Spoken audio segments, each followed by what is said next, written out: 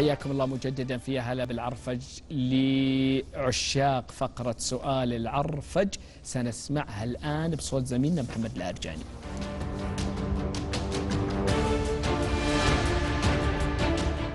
ناصية يقول جوزيف أديسون إذا نجحت فعليك أن تطلب المزيد. وسؤال العرفج هنا لماذا يتوقف الكثير من الناس عند أول نجاح يحققونه؟ ولماذا يترك الطلبة البحث عن العلم؟ بعد تخرجهم من الجامعات والمدارس. أليس خير الأعمال أدومها؟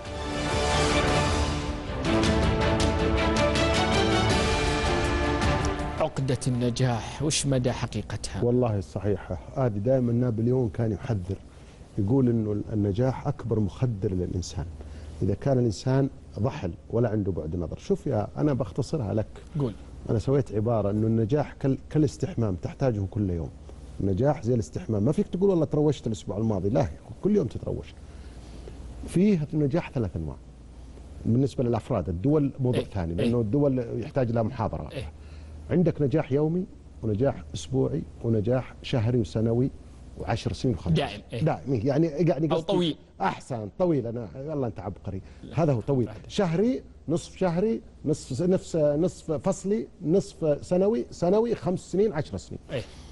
النجاح اليومي لازم كل يوم تحقق نجاح صغير. مثلا إيش النجاح الصغير؟ أنت بينك وبين أستاذ مودة قديمة فتحت الصباح الجوال وكلمته وقلت له والله بس مكالمة واشكرك فيها. هذا نجاح يعطيك آه، حافز يا أبو يحيى جميل في الحياة. هذا واحد. صحيح. والله في آه، آه، السخانة تنقط. تنقط ومن يوم من- من سنة مأجل تصليحها صلحتها.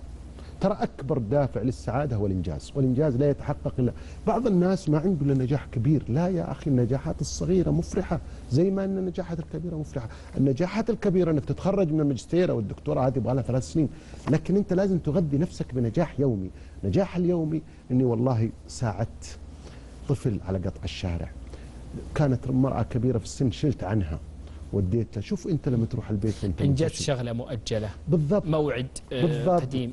دائما نسمعها إحنا نقول لك يا أخي والله ارتحت الحمد لله. كنت لي سنه بضم بنتي في التابعية ولا وضميتها العام في حفظ النفوس. فاتورة. قضية بينك وبين واحد إنجزتها.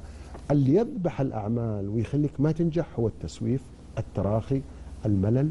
اسباب كثيرة ما بنذكرها. خلينا نذكر النجاح وبس. فأنت لازم يصير عندك أنا أسميه دفتر صغير اسمه سجل نجاحات. حلو. نجاحات يومية نجاحات أسبوعية. أنت تتبع الإسلام. الإسلام صلاة الجمعة مرة ولا لا؟ مم. وفي كل يوم صلاة؟ وفي كل شهر عبادة معينة وفي كل سنة عبادة معينة مثل رمضان. أنت تتبع هذه ال- ال- ال- الطريقة. وما تنتظر لأن النجاحات الكبيرة ما تجي دائما. في نجاحات صغيرة. ومتوسطة. بالضبط. أن- أنهيت قراءة كتاب وكافأت نفسك بسكرين بعد القراءة. هذه النجاحات الصغيرة لأنه ال- النجاح الكبير عبارة عن نجاحات صغيرة ولا تنتظر النجاح الكبير يمكن ما يتحقق. في ناس راح يدرس ولا تؤجل النجاحات الصغيرة علشان انتظار النجاح. الكبير. هذه هي النجاحات الصغيرة هي المغذي اليومي خلينا طيب, نقول. طيب سؤال دكتور. هل يمكن بطريقة مباشرة أو غير مباشرة نعتبر أنه الحصول على النجاحات الصغيرة حافز أو دافع أو طريق للنجاحات الكبيرة ولا لا؟ إيش يقولوا هم؟ النجاح يجر النجاح. أي. أنت لما تخطب خطبة وتنجح ثاني يوم تشتهي له خطبة وبعد وبعد تخيل خذ المسألة بالعكس. لو ما حققتها حتلاقيها عقبة. أي. أي شيء تحققه من أولوياتك أنت ارتحت. سددت الفاتورة ارتحت اشتريت أرض ارتحت يعني هم وطاح عنك لأن الحياة ولقد خلقنا الإنسان في كبد. الإنسان مجموعة. لكن أنا أقول لك أنا مركز على النجاحات الصغيرة إن الإنسان لازم يعملها.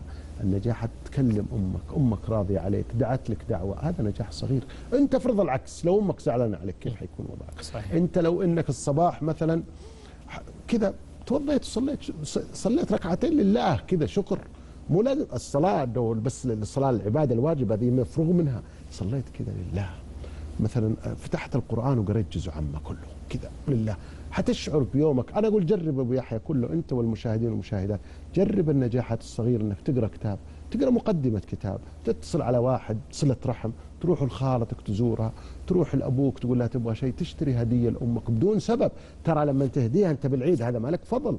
هذا مبرمج على العقل. الدهشة. لذلك البنات يحبون هالحركات السبرايز لأن أنت لو قلت لها أبغى أعطيك هدية ما ي... لكن لما تقول لها تفضلي يوم تنجز وتفرح. ليه؟ الدهشة مهمة في هالأعمال.